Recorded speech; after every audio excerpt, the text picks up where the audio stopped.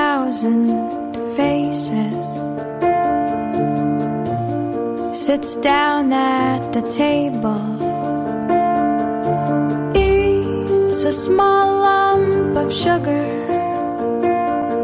and smiles at the moon like he knows her, and begins his quiet ascension without anyone's sturdy instruction to a place that no religion has found a path to our likeness. His words are quiet like stains are on a tablecloth washed in a river stains that are trying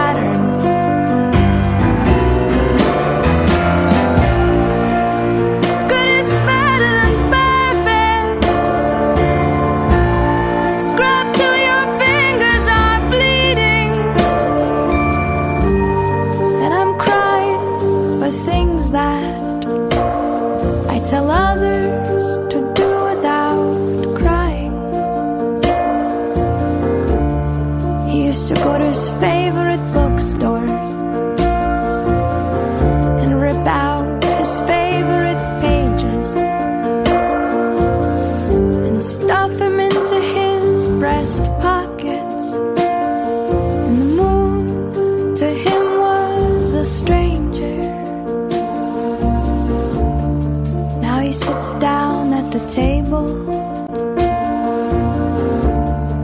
right next to the window and begins his quiet ascension.